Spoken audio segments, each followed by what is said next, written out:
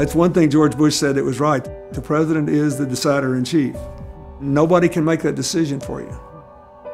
Look, he knew what would happen. Suppose the Navy SEALs had gone in there and it hadn't been bin Laden. Suppose they'd been captured or killed. The downside would have been horrible for him. But he reasoned. I cannot, in good conscience, do nothing.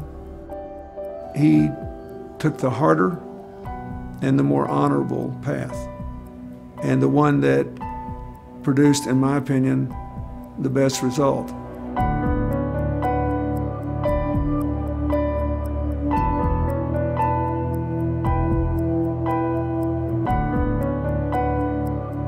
It's not worth moving heaven and earth, spending billions of dollars just trying to catch one person. He was referring to the hunt for Osama bin Laden. Mm-hmm. What did he mean by that? Because it's generated a little controversy, given Osama bin Laden's role in killing, what, 3,000 Americans uh, on 9 11.